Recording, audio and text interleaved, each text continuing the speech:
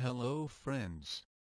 This video is brought to you by mywayteaching.com.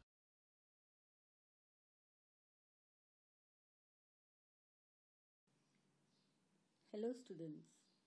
Here we start with coordinate geometry.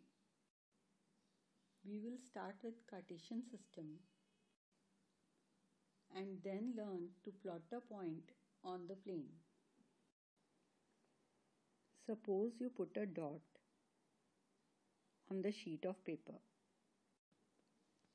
If you have to tell us the position of the dot on the paper, what will be your answer? Maybe you will answer that dot is in the upper half of the paper or that it is near the left edge of the paper or maybe it is very near the left hand corner of the paper but such statements will not fix the position of the dot. So, if we draw a perpendicular from the dot to the left edge of the paper and measure it Suppose it is 2 centimeters. Then we can say that the dot is nearly 2 centimeters away from the left edge of the paper. This helps us to give some idea but it does not fix the point as there are many more points which are 2 centimeters away from the left edge of the paper. So to fix the point, let us draw a perpendicular from the point to the bottom of the page. And now let us measure this line. Say it is 9 centimeters. So we have fixed the position of the dot by specifying its distance from the two fixed lines that is the left edge and the bottom line of the paper. This brings us to the conclusion that we need two independent informations for finding the position of a point on a plane. A French mathematician invented the idea of placing two number lines perpendicular to each other on a plane and locating points on the plane by referring them to these lines. Let this be one number line with O as origin and this is another number line with O as origin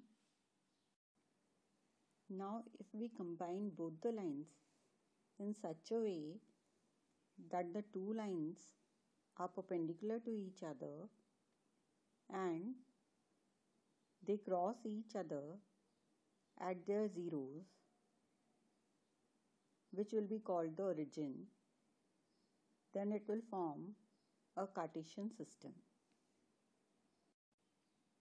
We will call horizontal line as x-axis and vertical line as y-axis. O will be called the origin. Let us name our x-axis as x x dash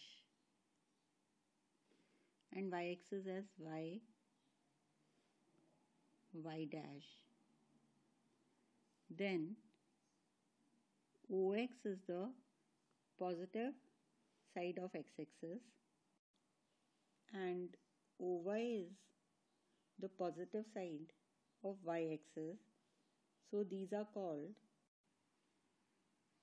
positive direction of x-axis and positive direction of y-axis.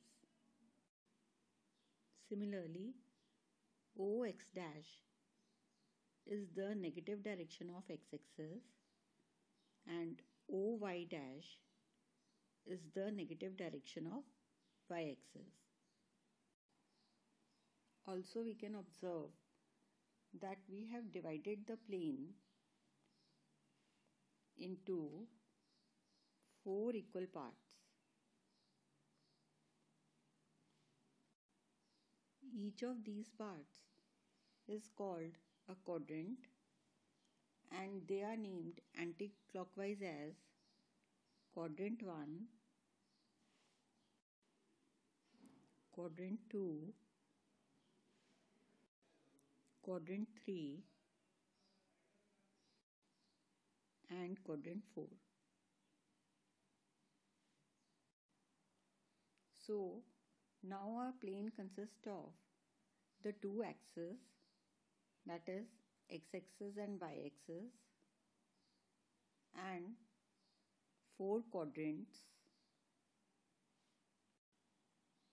And we can call it Cartesian plane or the coordinate plane or we can even say it is a xy plane.